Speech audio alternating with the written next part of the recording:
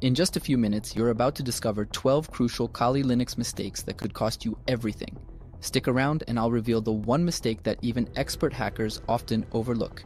Mistake 12 Using Kali as a primary OS. Avoiding this mistake is like unlocking the stability achievement in your digital life. By using a separate OS for your daily activities, you not only ensure system stability, but also shield yourself from potential vulnerabilities that Kali's specialized nature could expose you to.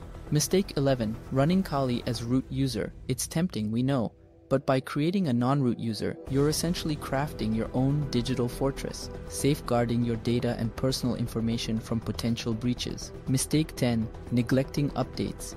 Keeping Kali updated is akin to sharpening your digital sword. With each update, you arm yourself with the latest tools and defenses, staying ahead of cyber threats and protecting your virtual kingdom. Mistake 9. Using Kali for illegal activities.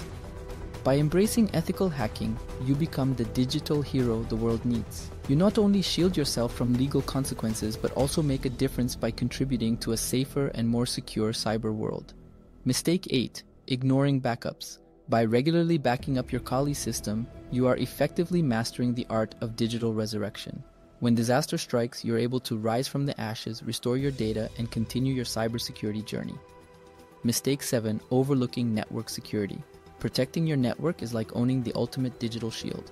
By using a VPN and enabling a firewall, you deflect potential threats, safeguarding your data, and maintaining control over your digital realm. Mistake 6 Relying solely on tools. By understanding the theory behind cybersecurity practices, you become the true wizard of Kali Linux. You'll have the knowledge to not only use the tools effectively, but also to adapt and overcome new and evolving challenges. Mistake 5 Not understanding the target system. By taking the time to understand the target system, you're like an expert chess player, anticipating your opponent's moves.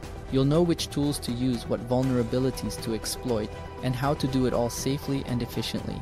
Mistake 4 Overestimating your skills. Humility is the armor of the wise. By understanding the limits of your knowledge, you're setting the stage for growth. You'll be more open to learning, less prone to errors, and better prepared for the unexpected challenges that come your way. Mistake 3 Ignoring privacy concerns. Respecting privacy is like having a golden reputation in the digital world. It builds trust, creates ethical boundaries, and ensures you're not inadvertently violating anyone's rights. Mistake 2 Using untrusted tools. It's like venturing into a minefield with a faulty metal detector. By only using trusted, well reviewed tools, you're protecting yourself from malicious software, ensuring your efforts are productive, and maintaining the integrity of your work. Mistake number one not documenting your work. It's like having a treasure map for your future self.